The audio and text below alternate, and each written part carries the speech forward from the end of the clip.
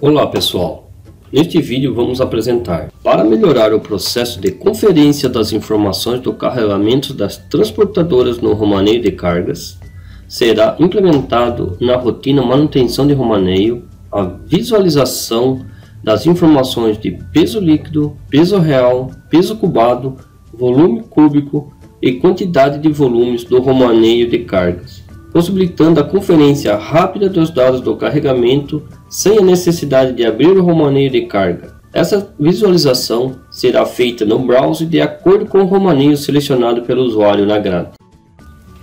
Vamos acessar o Siga CFG e parametrizar os novos campos para que estes apareçam na tela de romaneio de carga.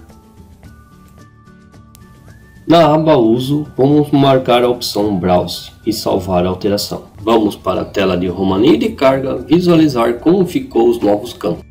Vamos localizar nosso romaneio. Ao selecionar o romaneio, em Mostrar detalhes, são apresentados os campos de totais que parametrizamos. Estes mesmos campos podem ser visualizados detalhando o romaneio de carga tanto a nível de cabeçalho quanto a nível de itens do romaneio de carga.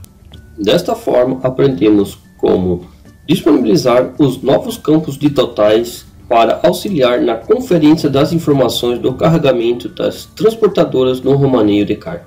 Agora vou apresentar como informar e consultar o número do lacre nos romaneios de carga.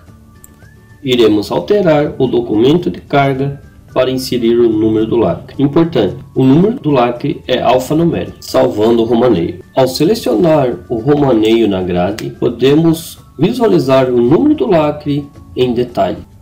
Agora vamos visualizar o número do lacre na impressão do romaneio de carga. Podemos observar o campo número do lacre no relatório. Com isso, concluímos a apresentação do campo número do lacre no romaneio de carga.